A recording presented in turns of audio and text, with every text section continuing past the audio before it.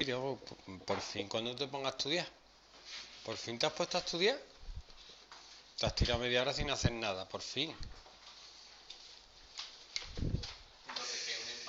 No, no hay empate. No, no hay empate. Yo hago mi trabajo, tú no. Trabajo es estudiar. Venga, f de x igual a x, ya por lo menos abierto el libro y te ha puesto a hacer algo. Por lo menos. Esa, pues, rápidamente, hago las asíntotas verticales. Igual al denominador a 0, el dominio, x cuadrado igual a 1, x igual a más 1 y menos 1. Hay que hacer los límites porque son asíntotas verticales, de uno por la izquierda, de uno por la derecha, de menos uno por la izquierda y de menos uno por la derecha. ¿Vale? Vale, pues menos uno por la izquierda sería arriba, o sea, uno por la izquierda, arriba sería positivo y abajo sería positivo. Esto es más infinito. 1 por la derecha, 1,01, abajo sería negativo, menos infinito. Menos 1 por la izquierda, ¿qué número es, David? No, menos 1 por la izquierda es el fallo que comete todo el mundo, es menos 1,01. Esto es menos, esto es menos, más infinito. Menos 1 por la derecha es menos 0,99, esto es menos, esto es más, menos infinito. ¿Tiene asíntota oblicua? No, tiene horizontal. ¿Cuál es la asíntota horizontal?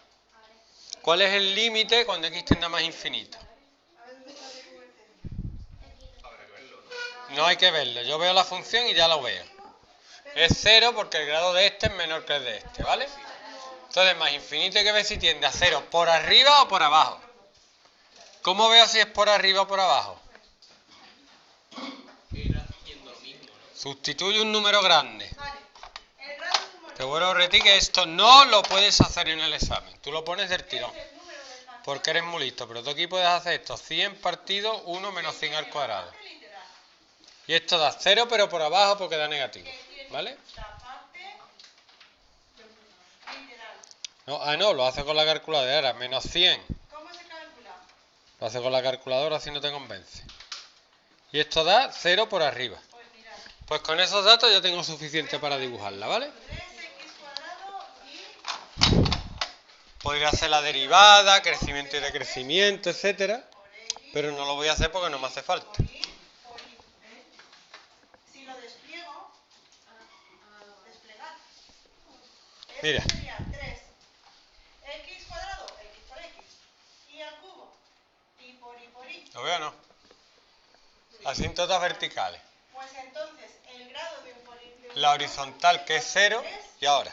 el número de factores que hay, pero solamente en la parte literal. 1 por la izquierda más infinito. El número de letras que hay, ni más ni menos. 1 por la derecha menos infinito. cuenta, tenemos aquí Menos 1 por la izquierda más infinito. Luego en total tenemos, Menos 1 por la derecha menos infinito. o sea que el grado de este Me- más infinito 0 por abajo. es Menos infinito 0 por arriba. ¿Lo veo o no? Sí, sí. ¿Cómo uno eso? Pues si te fijas pasa por el punto 0, 0. el grado de un monomio. Pues tiene que ser una cosa así. Pero claro, no podemos estar desplegando los monomios y contando las letras que tiene. Por si os dais cuenta, Uno la flecha y ya está.